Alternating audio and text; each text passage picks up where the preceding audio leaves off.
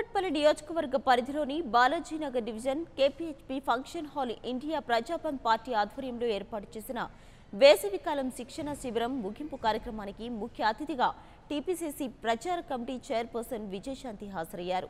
వేసవికాలంలో శిక్షణ శిబిరంలో చిన్నపిల్లలతో ఇలా ఒక్క పూట గడపడం చాలా సంతోషంగా ఉందని విజయశాంతి అన్నారు.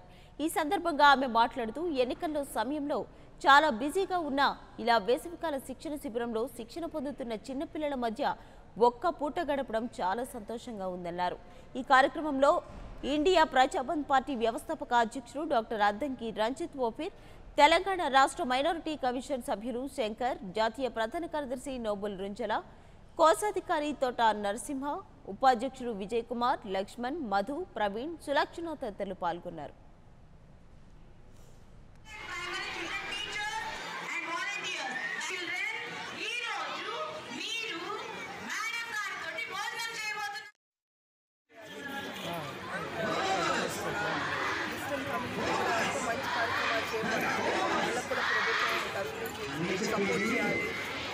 వాళ్ళు ఎన్నో ఇబ్బందులు పడుతున్నారు కరెక్ట్ పద్ధతి కాదనేది తెలియజేస్తున్నారు సో ఇప్పుడే వాళ్ళకి ఎప్పుడు మనం సపోర్ట్ చేయాలని వాళ్ళకి ఏ సమస్య ఉన్నా వాళ్ళ తరఫున చేయాలి